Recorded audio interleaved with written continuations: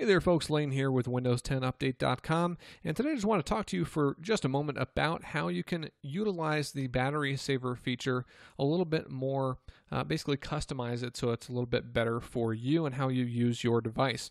So, you probably already know that if you click on the battery icon down here, you can turn on battery saver. You can see I'm fully charged and connected to the charger right now, so I don't have the option to turn that on. Uh, you could also come in here to your notification center or your action center, excuse me and then turn on battery saver from here as well. Uh, but once that's activated, a couple of different things are happening. Now, for one, it's probably going to dim your screen a little bit. Uh, secondly, and more importantly, what Battery Saver does to save battery is it will actually turn off backgrounding for certain apps which aren't open. You may not realize it, but certain applications will always run in the background waiting for notifications to come in. So, applications like the Outlook Mail application, Twitter, uh, Facebook, Facebook Messenger, those kinds of applications are constantly going to be using at least some of your power, not a very large amount, but some power in order to check for notifications so that you can be notified when a new message comes in. So there is a way that you can actually manage that though and have sort of granular control over what is happening. So if you go into system and then battery saver, you can click down here on battery saver settings. Now, first of all, what you can do is have battery saver turn on automatically at a certain point.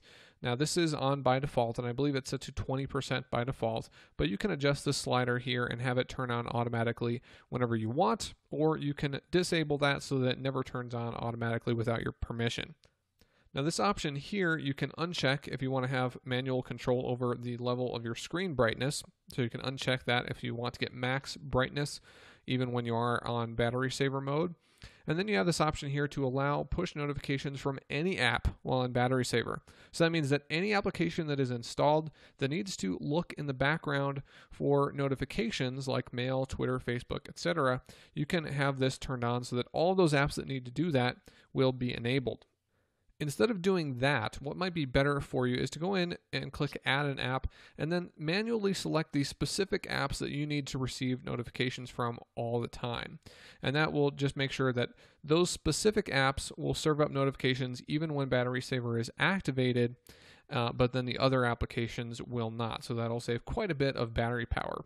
Now, additionally, just like in most mobile operating systems, you can actually come in here and see what applications are using your battery the most. So it may be surprising what you find in here. You could come in here and maybe find out that a certain application, uh, maybe Firefox, you haven't even started that in the last 24 hours and it's still using your battery. So this could give you a good indi- indication of an application that you might need to uh, uninstall if you are having some issues with your battery.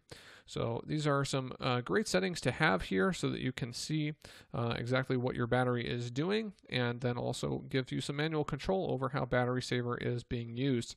Now additionally, before we close out here, I just want to show you that you can actually look at battery information over the last 48 hours or the last week as well. So that's it for today. I hope these tips help you out. Thanks for watching.